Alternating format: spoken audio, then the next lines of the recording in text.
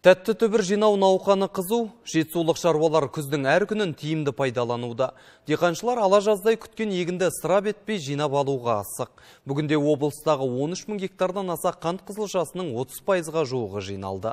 Шаруалар жиын терінді қар түскенше аяқтамақ ниетте, толығырақ Елдана Серікбайқызының сюжетінде.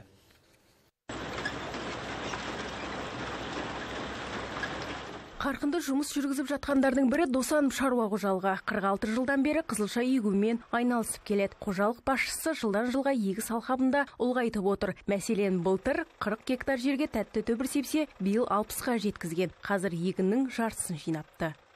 былтыр 40 гектарға еккенбіз өнім жаман алғанымыз жоқ 630 центнер айында алынған былтыр енді биылғы жылда өкпе жоқ ертерек бастадық оның үстіне жаңа техника алғанбыз үкіметтің жеңілдігі арқылы 155 миллионға грим деген комбайн алғанбыз осы алатын.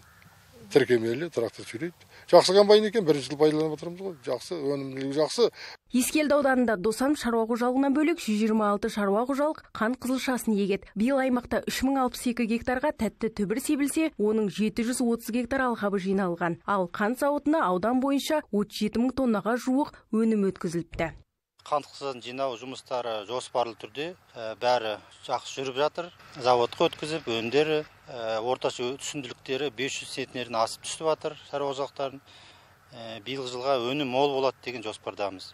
Еске салайық, биыл Жетісу облысы бойынша қант қызылшасы 14 мың гектарға жуық алқапқа себілді. Нәтижесінде 615 мың тонна тәтті түбір жинау жоспарланған. Ал бүгінгі күнге дейін 308 мың гектар қазылып, екі қант зауытына 164 мың тоннадан аса қант қызылшасы өткізілді. Жалпы өңіріміздегі қант зауыттары шаруаларға өнімнің тоннасына 40 мың теңге төлейді. Елдана Серікбайқызы, Жаслан Шынгенже, Жетісу арнасы, Ескелді ауданынан.